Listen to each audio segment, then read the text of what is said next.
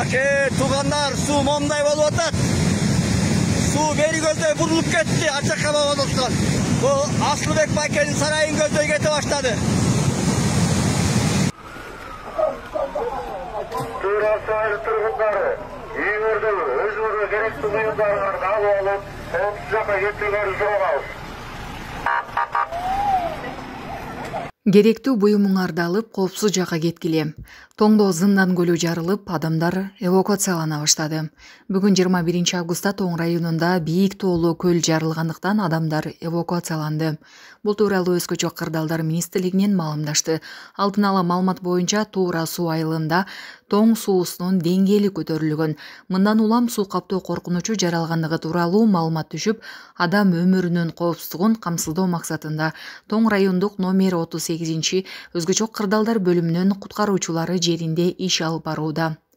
Куткаруучулар күн чыгыш айыл аймагындагы балык завод тилкесинин жана туура суу айылынын жашоочуларын коопсуз жайга эвакуациялоону жергиликтүү бийлик өкүлдөрүнө эскертип сууну буруу иштерине чыгып кетишкен туура суу гидропостунун маалыматы боюнча бийик тоолуу зындан көлү жарылып суунун көлөмү көбөйгөн. Аталган гидропосттун кызматкери көлдөн жарылуусун тактагандыгы аныкталган. Мындан улам туура суу айылындагы жүз алтымыштай адам ак сай жана ишберов айылдарына убактылуу көчүрүлгөн. Учурда аталган айылды суу каптоо коркунучунан алдын алуу иштери жүргүзүлүүдө.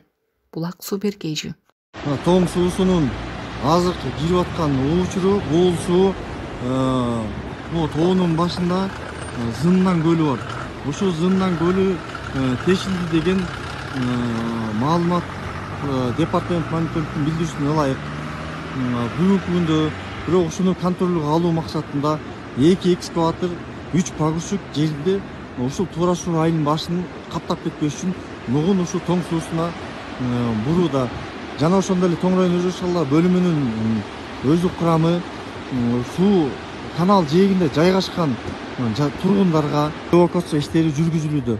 Азыркы учурда ушу туура суу айылынын элдери эшперов жана ак сай айылынын школдоруна эвакуацияланды. Whatsapp telegram мессенджерлери бир нече өлкөдө убактылуу иштебей калды. Бул тууралуу социалдык тармактын колдонуучулары билдиришти. Орусиялык медиа whatsapp менен telegram такыр ачылбай жатканын жазышууда. Интернет колдонуучулары vpn иштетип мессенджерди ачууну сунуштайт. Кыргызстандын аймагында саат он жети ноль нолдо telegram убактылуу иштебей отуз мүнөттөн кийин жанданды. Садыр жапаров экс депутатка таандык кеминдеги үч жүз элүү үч бүтүн ондон үч гектар жер боюнча чечим кабыл алды. Чүй облустунун кемин районунда убагында менчикке мыйзамсыз чыгарылып жакында мамлекетке кайтарылган үч жүз элүү үч бүтүн ондон үч гектар жер тилкесинде мамлекеттик ипотекалык компания ипотекалык негизде жарандарга берүү максатында турак үйлөрдү курат. Бул тууралуу президенттин басма сөз катчысы аскат алагөзов билдирди турак үйлөр тогуз кабаттан болот. Бул жер кемин шаары деп аталат. Болжол менен жүз миңден ашык үй бүлөгө батирлер берилет. Мамлекетке кайтарылган бул жер тилкеси мамлекеттик ипотекалык компанияга өткөрүлөт.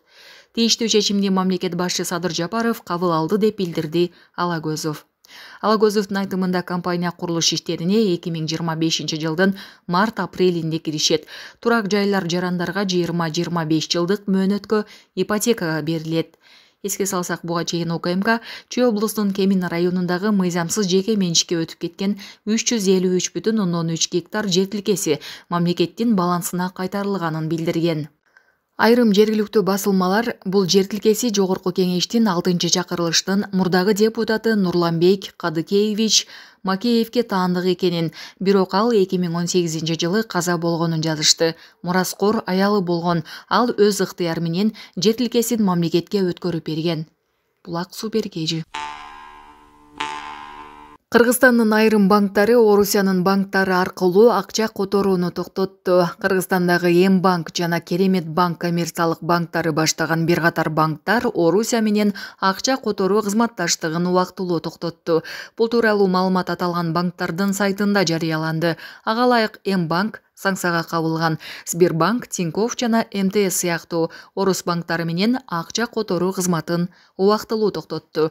Он алтынчы августтан тарта орусиянын санкциядагы банктары анын ичинде сбербанк тинькофф жана мтс аркылуу эки тарапка тең акча которуулар токтотулду. Акча которуулар санкцияга кирбеген башка банктардын реквизиттери аркылуу ишке ашырылат деп айтылат маалыматта м банктын артынан жыйырманчы августта керемет банк коммерциялык банкы орусиянын сбербанк мтс банк тинькофф банктары жана орусиянын нспк улуттук төлөм системасынын операторунан мобилдик тиркемелер аркылуу акча которууларды белгисиз мөөнөткө токтотулганын билдирди. Аталган банк азыр эл аралык акча которууларды золотая корона астросент вестерн юнион юнистрим риа системалары аркылуу гана ишке ашырып жатканын кошумчалады. Мындан тышкары темир банк жана kcb да орусия аркылуу акча которууларды токтоткону айтылды. Булак супер kg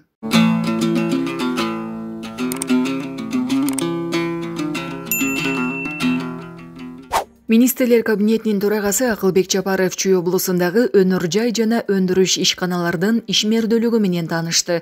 Бул тууралуу бүгүн жыйырма биринчи августта өкмөттүн басма сөз кызматынан билдирди. Ага ылайык жапаров отуз биринчи августта ишке киргизилиши пландалып жаткан бир катар ишканаларга барып ошондой эле кемин районундагы клинкер өндүрүүчү заводдо жана миронов кенинде болду. Өкмөт башчы калктын жашоо деңгээлин жогорулатуу жана жаңы жумуш орундарын түзүү үчүн жергиликтүү өндүрүштү өнүктүрүүнүн маанилүүлүгүн белгиледи. Биз ишканаларыбыздын ийгиликтүү иштеши үчүн бардык шарттарды түзүп заманбап технологияларды киргизип продукциянын сапатын жогорулатууга тийишпиз. Чүй облусу өлкөнүн өнөр жайын өнүктүрүү картасында өзүнүн татыктуу ордун ээлеши керек деди ал мындан тышкары жапаров куттуу сай кенинин иши менен да таанышты жалал абадда оюн аянтчасында он эки жаштагы өспүрүм сабалды. Жалал абад шаарындагы соода түйүндөрүнүн биринде жайгашкан оюн аянтчасында эки миң он экинчи жылы туулган өспүрүм бейтааныш аял тарабынан сабалды. Окуя учурунда тартылган видео соц баракчаларга тарап кызуу талкуу жаратты. Жалал абад шаардык милициясы окуяны тастыктап баланын апасы сузак районунун тургуну он тогузунчу августта арыз менен кайрылганын билдирди. Окуя он жетинчи августта орун алган. Анда азият улутундагы жашы отуз отуз беш жаштагы аял өспүрүмдү сабап денесине залал келтиргени айтылган. Аталган маалымат жалал абад шаардык ички иштер башкармалыгынын тергөө кызматы тарабынан маалыматтарды электрондук каттоо журналына катталып тергөөгө чейинки териштирүү иштери башталды. Ал эми жабырлануучуга карата атайын соттук медициналык экспертиза дайындалган бұлақ су бергежі чүйдөгү ооруканалардын биринде дарыгерге кол салган кыз убактылуу кармоочу жайга киргизилди. Бул тууралуу бүгүн жыйырма биринчи августта облустук милициядан билдирди. Маалыматка ылайык он тогузунчу августка караган түнү болжол менен саат бир ноль нөлдө оорукананын жандандыруу бөлүмүнө жыйырма бир жаштагы кыз ичимдикке ууланган деген диагноз менен келип түшкөн. Болжол менен саат төрт ноль нөлдө ал өзүнө келип ооруканадан кетейин деген. Бирок дарыгерлер кыздын туугандары келгенге чейин аны кое бере албай тургандыктарын билдиришкен мындан улам кыз ачууланып ал жерде иштеген дарыгерге кол көтөргөн деп билдиришти милициядан. Аталган окуядан кийин сабалган дарыгер милицияга арыз менен кайрылган бул факт бейбаштык негизинде кылмыш иши козголгон бериле кетсек кечээ социалдык тармактарда белгисиз аялдын медицина кызматкерине кол салган видеосу тараган баткенде уюшкан кылмыштуу топтун лидери салим абдуалиев менен сүрөткө түшкөн жаран кармалды бул тууралуу укмкдан билдиришти бир миң тогуз жүз жетимиш сегизинчи жылы баткен облусунун лейлик районунун разаков шаарында туулган жаран ушул кезге чейин толук аты жөнүн бир нече жолу өзгөрткөн. Алынган маалыматка караганда ал үстүбүздөгү жылдын август айында москва шаарынан разаков шаарына барганда укмк тарабынан издөөгө алынган уюшкан кылмыштуу топтун лидери салим абдувалиев менен түшкөн биргелешкен сүрөтүн көрсөтүп өз чөйрөсүндө мактанган он алтынчы августта аталган жаран укмкнын тергөө амалдарын жүргүзүү үчүн жеткирилип сурак учурунда айылдашы кундусов шухрат менен ташкентке барган мезгилинде абдувалиев менен жолугушкандыгын тастыктаган. Ошондон кийин аны менен жана анын айланасындагылар менен жолуккан эмес биргелешкен иштери да болгон эмес. Учурда ал орусияда эмгек миграциясында болуп жеке ташуучу болуп эмгектенет жүргүзүлгөн текшерүүнүн жыйынтыгы боюнча шектүү уюшкан кылмыштуу топко жана аны каржылоого катышы бар экендиги азырынча тастыктала элек. Бирок ал криминалдык дүйнөнүн өкүлдөрү менен байланыш түзүү боюнча өзүнүн жасаган иштеринин укукка каршы кесепеттерин түшүнүп мындан ары мындай аракеттерди кайталабоого милдеттенди. Булак седепкежи паралимпиадага катышчу кыргызстандын курама командасын узатышты бүгүн жыйырма биринчи августта париж шаарында жыйырма сегизинчи августтан сегизинчи сентябрга чейин өтө турган отуз экинчи жайкы паралимпиада оюндарына кыргызстандын паралимпиадалык курама командасын узатуу аземи болуп өттү бул тууралуу министрлер кабинетинен билдиришти иш чарага министрлер кабинетинин төрагасынын орун басары эдил байсалов маданият маалымат спорт жана жаштар саясаты министри алтынбек максутов машыктыруучулар жана спортчулар катышты бул жолку отуз экинчи жайкы паралимпиада оюндарында өлкө намысын поверлифтинг триатлон жеңил атлетика жана дзюдо сыяктуу спорттун түрлөрү боюнча төрт спортчу коргойт. Таласка келген өзөр жусупбековго айылдаштары ат мингизип унаа жана батир беришти бүгүн жыйырма биринчи август күнү талас районунун жон арык айылында париждеги олимпиадада грек рим күрөшү боюнча коло медаль уткан балбан өзүр жусупбековду тосуп алышты.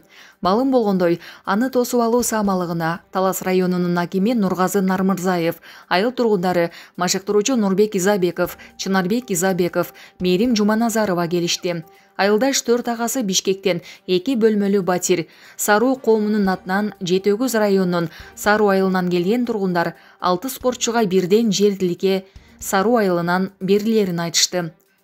Жон арык айылындагы спорт комплекске өзүр балбандын ысымын ыйгарууну сунуштап эл колдоду. Ага катар эле балбанга өз айылынан да жер тилке берүү сунушталды туугандары уруулары классташтары биригип эки миллион сом тапшырышты. Үзүрдү мектепте тосуп алып иш чарага эки жүздөн ашык адам катышты. Айыл эли алгач ат мингизди. Колпоч уруусу өзүнүн уруусунун атынан беш жүз миң сом айыл өкмөт элүү миң сом достору батирдин ачкычын классташтары унаанын ачкычын тапшырышты деди айыл өкмөт башчысы тилек сакиев